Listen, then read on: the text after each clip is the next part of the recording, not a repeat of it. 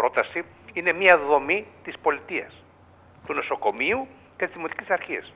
Και ως τέτοια έτσι θα λειτουργήσει. Αν θέλουν κάποιοι άλλοι να περάσουν ότι είναι παραμάγαζο ή μαγαζάκι ε, της Λασί του κ. Ρούσινου, κάνουν μεγάλο λάθος. Και μεγάλο λάθος όταν αρχίζουν συνεχώς πριν ξεκινήσει να λειτουργεί να δυσφημείται ότι ξέρετε δεν είναι μια πέτηση της κοινωνίας ή μια πέτηση και μια ε, προσπάθεια που γίνεται από την πολιτεία και από τη δημοτική αρχή να λειτουργήσει, παρά δεν ξέρω εγώ κάτι δίθεν ε, δική τους ε, αγωνιστική δράση που την πετύχανε. Δεν ταιριάζουν αυτά τα πράγματα. Ιδιαίτερα σε αυτό το τομέα το ξαναλέω. Αυτές οι δηλώσεις του Γιώργου Μαχημάρη προκάλεσαν την αντίδραση του επικεφαλής της Λαϊκής Εισπήρωση Βόρειας Κέρκυρας, Κώστα Ρούσινου και του παραρτήματος του Εθνικού Συμβουλίου Ναρκωτικών σχετικά με την δημιουργία του συμβουλευτικού σταθμού στην Βόρεια Κέρκυρα. Ο Λουντέμι είχε πει ότι υπόθηκαν πολλά ψέματα. Τόσα πολλά που ντράπηκαν τα ίδια τα ψέματα. Δεν ντράπηκαν τα στόματα που τα έλεγαν.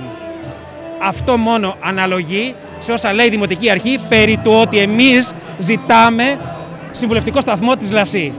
Η κοινωνία της Βόρειας Κέρκυρας, οι σύλλογοι της περιοχής, η νεολαία γνωρίζει πάρα πολύ καλά για το τι παλεύουμε και γνωρίζει πολύ καλά ποιο είναι το κέρδος το οποίο προέκυψε από αυτό τον αγώνα στο οποίο μπροστά είχε το ΕΣΥΝ αλλά συμπορεύτηκαν πολιτιστικοί, αθλητικοί σύλλογοι γονέων της περιοχής. Κώστας Ρούσινο έδωσε την θετική έκβαση της υπόθεσης στην πίεση που ασκήθηκε από φορείς και συλλόγους προς την Δημοτική Αρχή, ξεκαθαρίζοντας πως ο ίδιος δεν θέλει να δώσει συνέχεια σε αυτή την αντιπαράθεση. Έλεξη της αναδίπλωσης της Δημοτικής Αρχής και ο ορισμός ημέρας εγγενείων και έναρξης λειτουργίας του συμβουλευτικού σταθμού.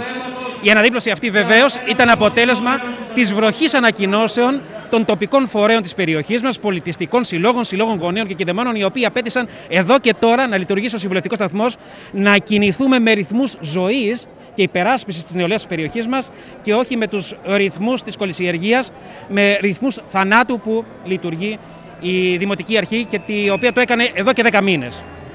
Είμαστε περήφανοι για αυτόν τον αγώνα και θέλουμε να πούμε το εξής ότι η Δημοτική Αρχή αντί να τον πάρει τον υπονόμευσε. Υποχρεώθηκε τώρα να κάνει το αυτονόητο. Έστω και με αυτό, εμείς δεν θα συνεχίσουμε αυτή την άχαρη αντιπαράθεση.